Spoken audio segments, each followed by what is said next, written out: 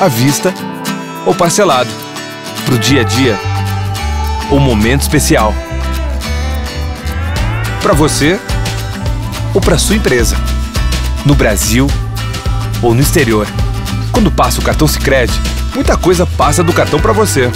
Sempre que você usa, fortalece sua cooperativa e sua região. Cartões Sicredi, uma linha completa que coopera com você.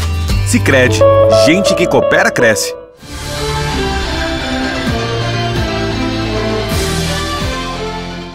Na madrugada dessa segunda-feira, 25 de janeiro, a Polícia Rodoviária Federal de Camacuã apreendeu cerca de 200 quilos de maconha que eram transportados em uma caminhonete Spin, placas AXL 1168, de Londrina, Paraná. Segundo a Polícia Rodoviária Federal, acredita-se que a droga vinha para Pelotas e o motorista teria dormido na direção capotando no quilômetro 452 da rodovia.